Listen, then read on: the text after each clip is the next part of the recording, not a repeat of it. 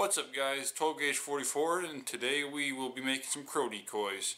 Uh, I'm going to show you some of the crow decoys I already use along with some one I just bought that I'm going to turn into a crow decoy and then we're going to make some real easy to make cheap decoys and we're going to put them to the test tomorrow. We're going to follow this up with a hunting video so stay tuned and uh, hopefully you'll see some decoys in action.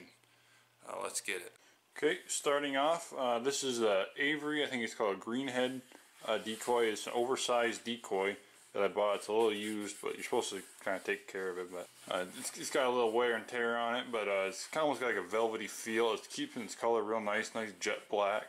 But uh, they're nice because they have a, a stake right in the back, in the tail that goes in.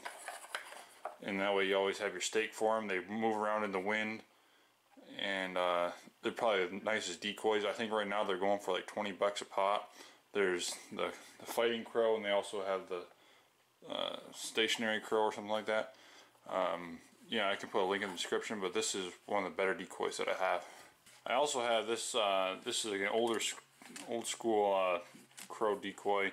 Uh, I can't even make out the brand, it's sports something, but uh, yeah, definitely old school. Um, but it works. Obviously, nice hard plastic. It's hollowed out, but uh, doesn't have a stake, so I just cut off some branches or something. But yeah, that's not a bad decoy. But that that's it for decoys. I've got a couple of these, a couple of the other ones.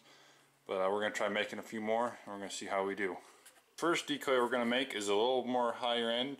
Uh, it's called the Lucky Duck Rapid Flyer Dove. It's a dove decoy but it's pretty good size. I got pretty big hands. You can kind of compare it to my hand. So it's not like the oversized decoys, but it's pretty close to the size of the other crow decoys. Um, what we're going to do is we're actually going to take this thing and we're going to try painting it black and it's going to add a little bit of um, motion to our setup and uh, here I'll flick it on for you. I just got today so um, I'm still figuring out. It's pretty simple. You just put the wings on. These stakes all come together. It's got like an adjustable that. So then you just flicker on. Oops, drop stake. Yeah. Look at that. That's to be pretty cool looking out in the setup. So uh, we're to paint this black. And uh, I think it's to fool them pretty good. I think this is $30 off of Cabela's.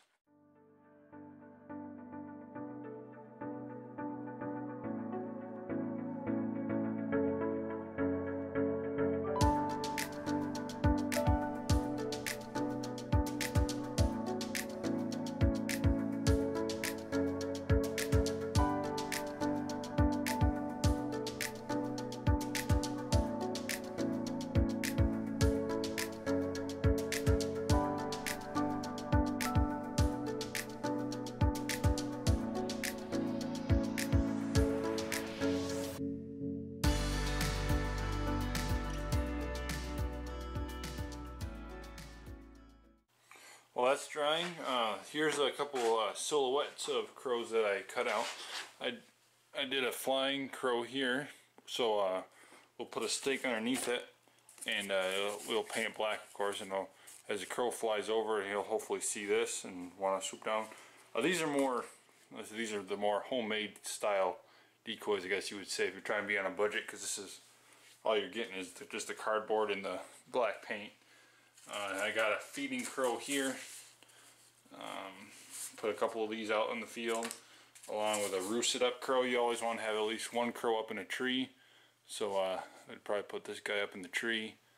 And uh, we're going to cut out some of these. I said I just kind of hand drew these. I'm not an artist by any means. Uh, it's just, just thick cardboard I had in a box and just cut it up. And uh, I can cut one out real quick if you want and um, we'll paint these up too and we'll set them out and see how they look.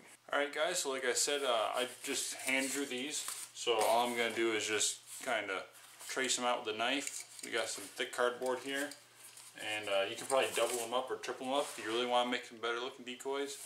But um, yeah, I'm just going to try just the single ones out. Uh, you'll probably see in the video that we're shooting tomorrow how well they work if we're going to keep doing this or not. Uh, you probably don't need a ton of decoys, but we're, we're shooting for probably like 10, 15 decoys.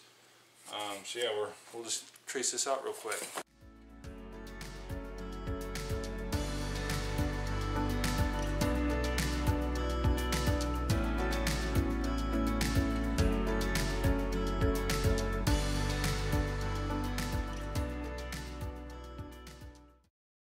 There you go, there's second cardboard feeding decoy.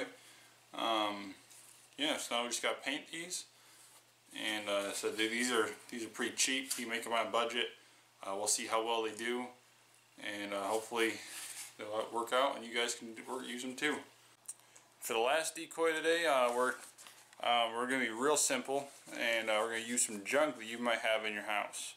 Uh, we're actually going to be using juice jugs. There's no special brand of juice, just whatever juice jug you got.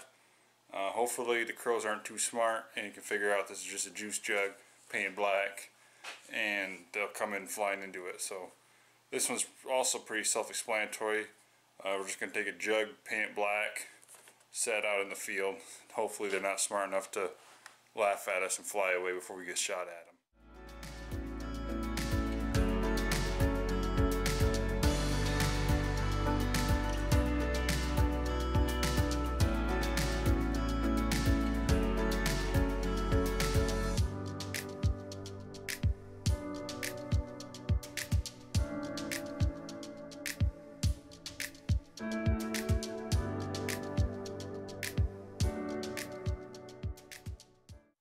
that's pretty much it guys. Pretty much the ideas that we had to try and make some cheap decoys along with some fancier decoys to make up for the lack of decoys that we have.